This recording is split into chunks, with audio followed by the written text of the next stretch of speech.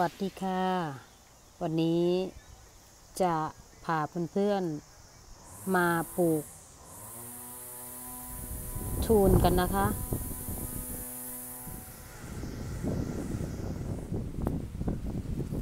เมื่อเราโรยปุ๋ยกับขี้ไก่ใส่ลงไปก้นหลุม แล้วก็โรยด้วยขุยมะพร้าวที่เราหมักไว้นะคะขุยมะพร้าวเพื่อจะได้ เขาจะได้ขยายหัวเขา เพราะว่าถ้าดินมันแน่นเกินไป หัวรากเขาก็จะไม่ขยาย แล้วเราก็เอาดินลงกลบเลย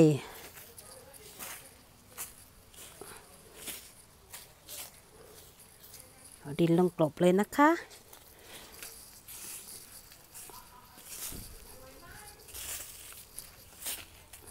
เราก็จะรักษาความชุ่มชื้นของหัวของเขาทำให้เขาอุ้มน้ำได้ดี เราไม่ต้องไปพะวงเรื่องน้ำจะแห้ง เสร็จปุ๊บ เราก็เอาหญ้าเหลือฟางคลุม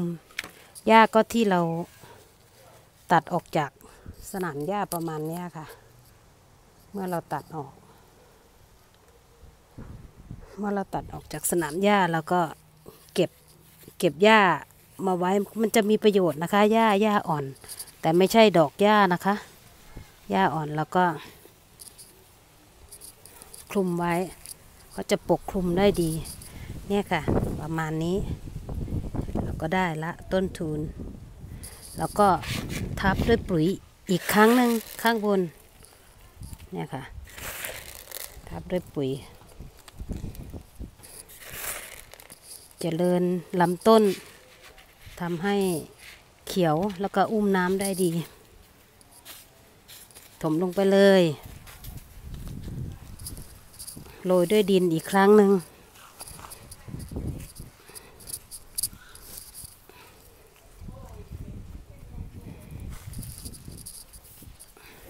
นี่ค่ะ เราก็จะได้ประมาณนี้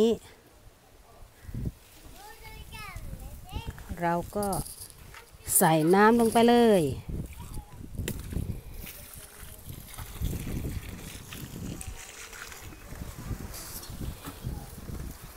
ก็เป็นอันเสร็จแล้วนะคะ